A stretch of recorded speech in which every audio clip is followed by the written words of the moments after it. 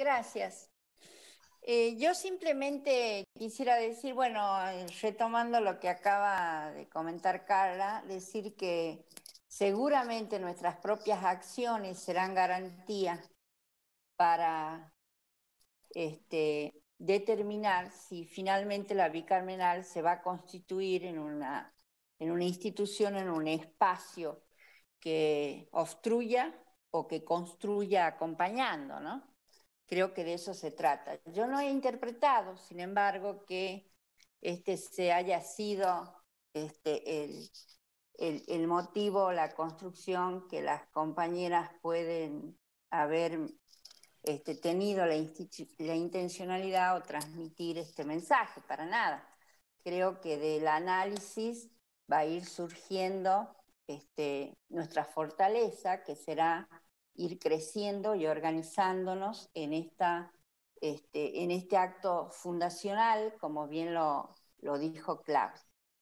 Yo creo que este, se trata que lo esencial es compatibilizar y en esa compatibilización este, eh, debemos ver de qué manera este, llevamos adelante una coordinación efectiva. Compatibilizar básicamente este, para simplificar, para contribuir a la simplificación desde lo que desde la defensoría se debe llevar adelante, porque es tan diferente el hasta el tiempo del poder legislativo a lo de a lo que se lleva adelante desde el ámbito ejecutivo, ¿no? Este, hasta los tiempos son diferentes. Entonces, compatibilizar con la Defensoría creo que es esencial. Este, y desde ese lugar debemos encontrar el modo de realizarlo. Felicitar a Paola, me pareció brillante su informe, su análisis, sus sugerencias.